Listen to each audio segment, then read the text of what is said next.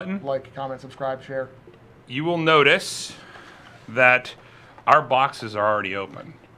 And we have to say that there was a little snafu where we didn't realize that the audio wasn't recording the whole video. There was a lot of good things that happened. And We are consummate professionals. Yep. But we will still do an unboxing. Uh, we're going to go through our boxes anyway we- to start with your uh, 3D terrain and your uh, paints that you normally get. Like, inordinately excited during the original recording of this video because I got a full set, but four obelisks. And as we previously discovered in other streams, I like sets of things. I also got a uh, another uh, 3D printed tent. Uh, this makes I think two or three for me, which is fantastic. These guys uh, can have uh, camps set up either for uh, their own camp or for anything they choose to like. I recently had them ambush like a camp of orcs and ogres in the forest. This would be fine. It's interesting for that. I got a uh, the Army Painter Wargame Wargamer Insane Detail brush. It is supremely tiny brush uh, for detail that surpasses regular sanity, as well as uh, three paints: Necromancer Cloak, uh, Earth Brown, and Intense Brown. Uh, if I recall from the Well, I will go with I have two of those obelisks, which is pretty cool. And then I have these uh, these really cool tables and benches. I have two of these. They're set up so where like maybe you have a, like a tavern brawl. They're right here. The other if I, if I recall, they were labeled as a tavern set.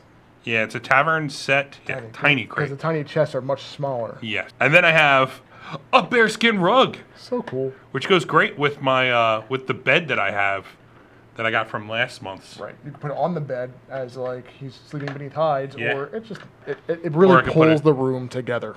Yeah, I can put it right in front of it, make it look like it- it's an actual bedroom if they're sneaking in to kill somebody. The great thing because because of the way these this uh, 3D print was laid on, and you'll see it in the photos, is that it gives it like a like a like a furry texture because they did little islands worth of filament here and there and there and there. It, it, Mm-hmm. Rather than just being one flat thing, Yeah, and it gives. uh, I mean, it's that little extra. it's got some depth. Yeah. And then of course the head. It, it'll paint up real nice too. Yeah. Do it like a like a panda. Ooh. And So- then my last one, I have these two packs, or these two sets of logs, Firewood bundles. firewood. Firewood. He's got wood. Yeah, I got many of it too. It's got two wood. So, but yeah, I have two of those.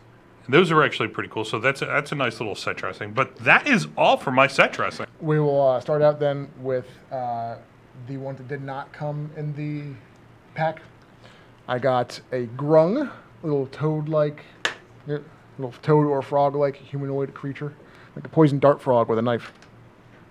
I got this uh, another uh, blood drinker vampire. I've got a couple of these now. Uh, once again, I like to have sets of things. I like to have more than one thing to uh, to. In the end, this is all imagination and, and fun, and you can bring together what you want. But it's, it's nice to have uh, placeholders to really like bring things together. So I got another one of these. Uh, this one has some damage from the uh, from the packaging, and she's been bent back a bit on her base. Should be an easy fix, and I believe we're going to have a video coming for that pretty soon about uh, how to myriad ways to do that. And Yep. then uh, I got this precognitive mage. Another, I got, I've gotten one of these on stream before as well. I love the detail. I love the detail of the uh, the runes in the uh, spell effect on the staff and down uh, is their cloak. Great detail on the eyes on this one. They're even, the, uh, the fr- the the chest piece is really really ornately done. Yeah. Like, like they did they didn't like goop paint on and like block all the detail out. Uh, what I had in uh, these were the sing the single ones that I got. Uh, this was the Hellhound. So that was pretty cool to get. Um, I, then I have uh, I looked this guy up too. That's it is a uh, Water Cult Warrior, thirteen of forty-five. So we talked about him, he has he has this nice little shield that looks like maybe it's a horseshoe crab. He's got this uh, pretty wicked sword. Um, it's a little bent from packaging, of course. I mean, what do you expect? It's a thin, thin piece of sword. So, but again, that can be easily fixed. Easy fix. Yeah, you just break it off and you throw it out. Don't do that, folk. That's terrible. He's bad. Yeah. Yep.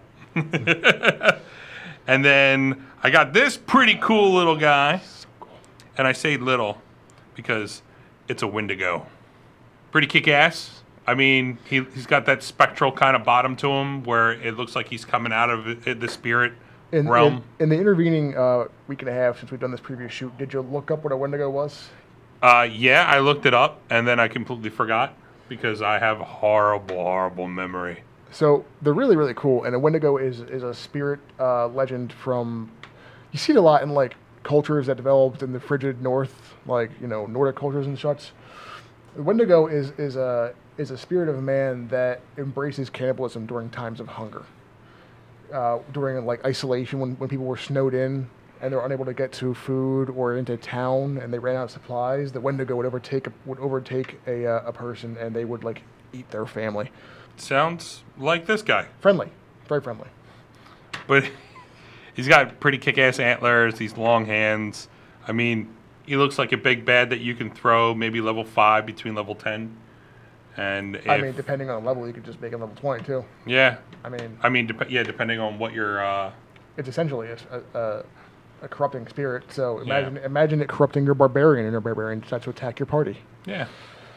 I've got this uh, this chaos base. Uh, again, now I just use them like a scatter terrain. Uh, I also got in the uh, the Guildmaster's Guide to Ravnica Boxing. I got um, I didn't bring it with me because it's currently sitting in a pile full of stuff from Game Night on Tuesday. Uh, I've got another Gruul Ogre photo, uh, so that makes two for me. And again, I like to have groups of things. I got another uh, Rubblebelt Stalker, the lizard man with a dagger lashed to his tail. This makes, I think, three for me. And unpainted, uh, and I believe that my mini, my paints came sorted for this guy is another uh, Gnoll Fighter. This one does not have any pack, uh, any damage in the packaging as my previous one did, but it's fine. Again, easy fix. But we'll go to my next batch, and I got this out of the uh, out of the uh, the box, the little booster pack. And I'll start off with I got the uh, same one that you had, the ru- rubblebelt stalker, little lizard man with a knife on his tail.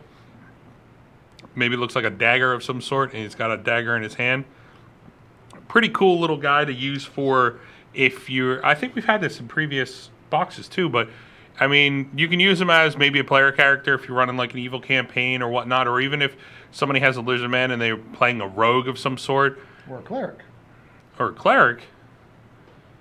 Alright, or a cleric. It's just I- a placeholder at that I, did, point. I didn't do that for our for our campaign at all. Oh yeah, yeah, yeah, you Yeah. did. Because he was a lizard man and it was the closest lizard man that we had for him. That's all I had so far. Yeah. Uh, next up, I have uh, a Krasis medium. Now you actually can see the, uh, the the this one and the next one on the side of these Ravnica boxes. So, but this here, this Krasis medium, I mean, he's pretty cool looking. Four four like crab like legs. He's got like the the shoulder pip there, little armor. He's got the the one like I would say maybe steel bracer, maybe something like that. Yeah, steel, iron, mithril, Yeah. silver. It's got this whole Michael Jackson thing going on. yep. So, I mean, you can even make that as the character's voice. I'm gonna, I'm gonna stop now before he gets sued by his estate. Yeah. Uh, when, when he says medium, uh, it's it's written in parentheses as is the size of the Krasis, not like not like it's a it's a Krasis diviner. Though it could be, you don't know, yeah. because there's also that comes in the box is a larger Krasis that uh, was it like the sharky one, the shark one. Yeah, it looks yeah. totally meaner. yeah. Uh, the next one I have is the indentured ser- uh, indentured spirit. I always say servant. Indentured spirit four of fifty five. Now he's pretty cool looking too. I mean, he's like a spectral kind of essence to him. I mean, he's kind of has his, his arms open wide, looking for a embracing hug.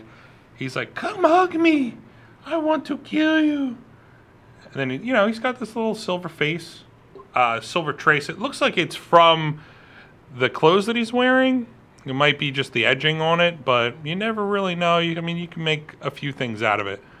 but I mean, he he looks like he's coming in for a nice little hug. That's always good. I like hugs.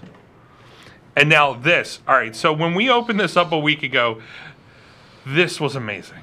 And this was one of the ones where you get special in the booster pack that's like that, you know, really cool reason why you buy the booster packs. This right here is a Night Veil Spectre. Now, What's it riding? I've, I actually forgot already. Gloomwing was it? Hey, I think it was a Gloomwing. Gloomwing? Is that Yeah. what it is? Yeah. But looking this up, right? This Night Veil Spectre is this little guy right here. So he's like in the book, he's a CR10. Pretty dangerous, right?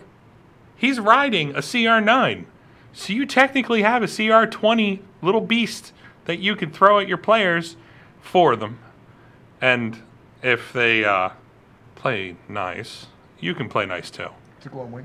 Gloomwing, yeah. It's like a CR9, and it's a CR10 dude on top. So, I mean, you literally have a CR, like a CR20. I know it's CR19, but usually when you combine uh, the CR levels, you actually have to add like a good like quarter.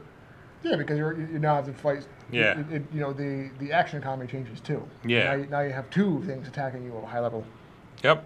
So, and he would be pretty cool to throw at your throw at your players. Now, I mean, I can find a way to throw it at my players, but hopefully they don't watch this to see it. But I hope that they're watching it to, To watch it.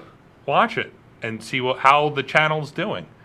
So I we'll see how that goes. at them right now because I don't think your players have learned yet that you are not to be messed with.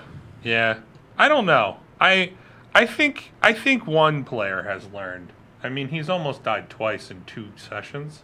I mean, if he would have learned from the first time, he wouldn't have almost had the second time. Yeah, but I think he's learned now. Maybe, Maybe, maybe we'll find out next week when he almost when he almost dies for a third time. maybe, maybe. So, um, uh, that's everything that I have. Is that everything you have? I do want to uh, give a quick shout out again because I raved about it for like a good five minutes in the last video that we didn't air. Uh, I want to thank Zach uh, for Magic Mini Man. Your customer service is fantastic. I, I had ordered some other stuff through Magic Mini Man, and uh, he sent me an email saying, you know, you, your your mystery box is about to ship. I'm just going to package it all together for you, save you some shipping. Really appreciate that. Had a larger box than uh, than the normal last time, but I didn't change my package or anything. I just got more stuff separately. Yep. But Zach, thank you for the for the great customer service. Uh, But anyway, if you're watching this, leave us a little comment if you love it. Give us a thumbs up or a thumbs down. Tell us what you like. Tell us what you don't like. Just throw it out there. any Uh, any variety of commentary, likes, dislikes, uh, verbal abuse, if you feel the need to do so towards Doug, not towards me. I'm fine. It's all Doug. Uh, it all helped uh, promote the channel and, and get uh, 5D1 Gaming's name out there. The only thing I would do with these guys at the moment is the unboxing. I love to show off the cool stuff that comes in these boxes. I've been purchasing them for like a year now. I love the products. I've filled up uh, a, an organizer with with minis. I need to get another one. Um, and that's the whole reason why I have actually have the Magic Mini Man you boxes. saw all my stuff. Mhm. Also, one of our other players the other night uh, in the process also ordered one of their kits. Oh yeah, yes, he did. Yeah, I don't remember which one he ordered. I think he ordered a regular one because he mentioned the price, and he said that it was like five dollars off, so he only Well, paid thirty bucks. If it was painting or unpainting, because I know he used to. Oh like, yeah. he used to like to paint Warhammer. Ah okay. So I don't know. Anyway, We'll see. But we've we, we, we've gotten you another subscription there, Zach. Appreciate it. Yep. Uh, if you want to give us a little uh, little click down there on the subscribe button. Like, comment, subscribe, share. Yep. And if you want to, hit the bell. We throw all these up at any time, whenever we can. Whenever we can. and we also have a uh, we have a weekly game that we play on Monday nights, 8 p.m. Eastern time on Twitch. If you just search up 5D1 Gaming, you will find us. Go ahead and hit a follow up on there. If you'd like to subscribe, go ahead and subscribe. Uh, if you want to check out our videos, it's on the same channel, 5D1 Gaming on YouTube. And you will find, I think we're up to episode 28 right now. And we play every week. Uh, I think we took we took a break Two weeks. two weeks ago, uh, and we did throw up some one shots. So we actually have three videos for one shots. So if you want to, go ahead and check us out. Leave comments. Leave us thumbs up. If you like the channel, just subscribe to us. That's even better. I mean, let us know how you guys feel about it. And uh, from here on out, I think we're good to go on these. What do you think? I think we're good. Uh, as far as extra content, uh, you like I said, we'll probably see a video coming up soon on mini care, how to how to fix your your, your bent plastic minis.